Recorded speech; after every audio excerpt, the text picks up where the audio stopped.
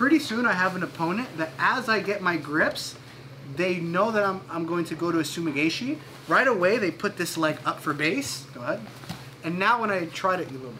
Yeah, now that I try to do the sweep, I'll never be able to sweep them. Now the good news about the Sumigaeshi is that you can go either side. So a good habit to pick up is the second I see that leg goes up, I switch everything and I take them the over other the opposite way. And in fact, it's a lot easier to sweep someone once his leg is up. Now, in the gi, it's a little bit ch more challenging to get perfect grips as I go. But one of the beauty things is that if it works in no gi, chances are it's going to work in gi. So from this collar tricep, you could realistically try to get to a collar and the jacket, but let's be real, it's sometimes hard to make a precise grip.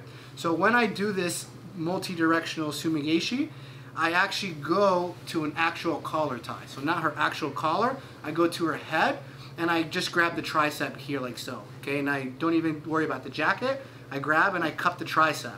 As I do this though, the same concept applies. Getting her elbow inside her shoulder and getting her head over her elbow here. And now from here, same action, I pull everything in as I look and I follow into top position here. Okay, so let's look at it again. Where we start out, same thing. At first I get off to my angle. Notice I'm not centered. I go hand over hand, start making my grips, put her hand on me, get to a tricep grip. I notice she puts a leg up. So now it doesn't make sense to try to go into that. So in one motion, my leg switches, and as I do this, I get to the head and tricep here. I'm looking at pushing that elbow and driving her head to the floor. Obviously don't do this, but think about spiking their forehead on the ground. Not that you ever will, right? But that's kind of the thought process I have as I start to elevate and you get a really nice sweep from here. When I feel the leg is up though, that's when I kind of break my rule of not extending. Because her leg is up, you're gonna have to do some extension, which will help you take them over. So here's what I mean, put this leg up. If I keep that contracted knee here, she's already really high. It's hard to get that same sweep. You can, you just have to be really patient. But because her hips are already off the ground, I generate a lot of force extending from here. And now, like, I get to the top position here, okay? So practice that concept. Then I want the top athlete to mix it up. Sometimes post the knee, sometimes don't. That way they can get in the habit of just going and not thinking. Obviously when you're first drilling it, you're gonna have to think, but I want it to get to a point where it's like muscle memory. Cool? Three, two, one.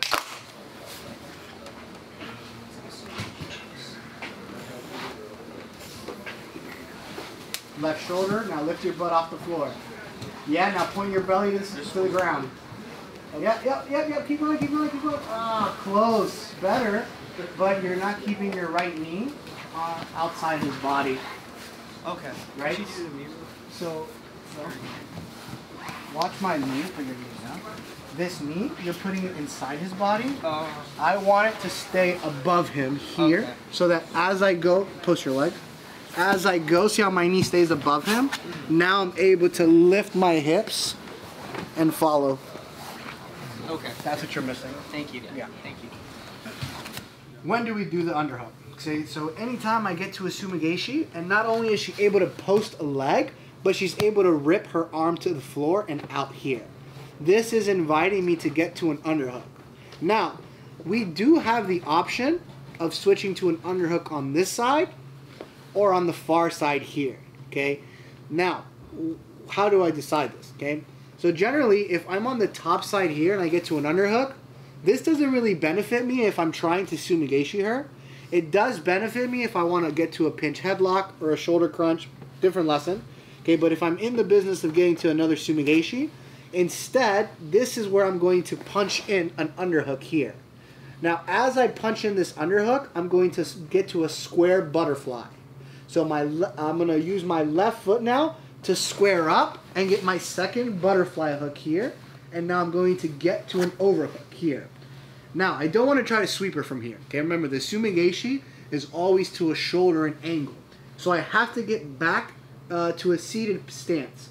And the way we do this is called a forward shift, which means I pull my knees to my chest and I extend everything over here. No matter how strong someone is, you will always be able to hit this. Okay, so I'll show the forward shift again. After I get my underhook, after I get my overhook, I first go knees to chest as I round my spine like a banana. Then as I extend, I sit up with her. Now the second I sit up, I have to start going into my sweep. Which way? To the overhook side. Why? Because she cannot base with his hand. If I take her to the underhook, we run into the same problem, which is that post. When I go to the overhook side, I bring my, my uh, action leg to my butt. I start to look over my shoulder, but I really want, let's turn, I really want to think about is not just hugging here, because if I just hug her arm, move your hand around, she can post that hand. Okay, not saying she'll defend, but it gives her a chance. Instead, I grab the tricep and I trace the arm. Now show everybody your hand. See how much more limited her movement is? Reminds me of the Scary Movie 2. This is my strong hand. You know what I'm talking about? She can't really move it. Okay. Now same thing. As I look over my shoulder, I'm pulling her into me and elevating her hips. Now even if she gets that leg up, it does her no good. I keep doing that same action leg, lifting my hips and following through. Worst case scenario, let's say we can't use that action leg and she bases out, I can instead extend my leg down to the ankle, uh, hook her, her shin ankle area, and as I lift my hook, her leg becomes weightless, allowing me to take her over and end up in a strong position, ready to start mounting. Okay, so let's look at it, the whole thing again. Let's go this angle. We had our initial Sumigaeshi, or maybe it was the second one that we just did, and she was able to get a hand to the floor. So I'm here, she was able to rip. From here, I get my arm under her arm as I square up and get my underhook deep. Notice the crook of my arm is behind her shoulder. I don't want a shallow underhook because now she can body lock me, which would be a very tough, unfortunate thing for her to do. So I have a deep underhook and I have an overhook just tracing the arm. Remember, we don't want to be flat. So I hit a forward shift, knees to chest, extend, uh, leg to my butt. As I look over my shoulder, I'm lifting her hips. If I can do the first sweep, great. If not, I go down towards the ankle as I lift. And I take her over. And now I get a nice reversal. All right, let's give that a shot. Three, two, one. Uh, go back a step. Really exaggerate those knees to chest. Now hit a forward shift. Yeah, but try to take them further. Go back. Really, take them as far as you can. Yeah, now go back. Yeah, so after that forward shift, remember we, we want a forward shift, get seated into an angle.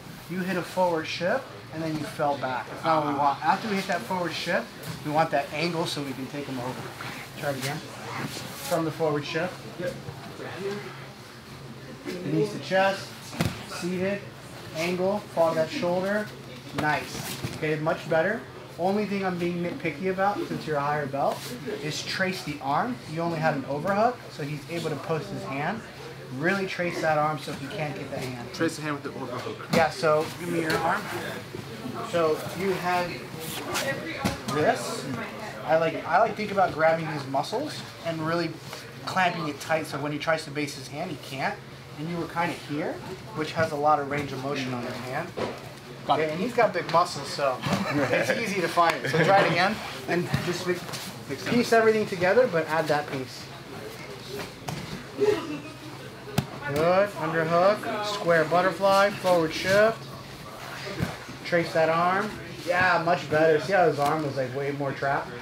Thank you. Looks good. Nice Matt. Good. Square butterfly, forward shift. Nice, Matt. Really good. Uh, I'm just being nitpicky. The only thing I'll add is the same thing he did. After that forward shift, already start bringing this leg back to your butt so that you're locomoting.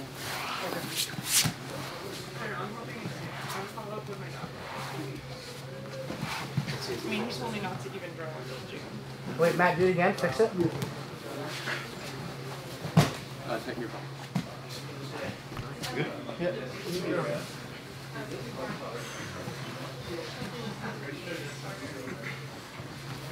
Nice. Underhook. Very nice. Forward shift. Yes! Very nice. Good job, Matt. If you get like two hips like under her hips, it's easier to manipulate her. Guys, uh, on this forward shift, just some things I'm seeing, and this is just like very subtle, you probably wouldn't even notice, is when I forward shift, I don't want to get here to this angle here, because now when I fall to my shoulder, she can flatten me out. Okay, so take them further than you think you have to, so that you're really sitting straight, and now it's really easy to find that angle here. Like try to get this like tall, nice posture here, even maybe a little bit too far forward, so that you don't get stuck in this like like teeter totter position where if she's smart, she'll put her forehead in my chest, and now she takes away my ability to get off to a hip and, and shoulder. Okay, so that's the biggest thing that I'm seeing off of the forward shift. Okay, let's keep working. Three, two, one.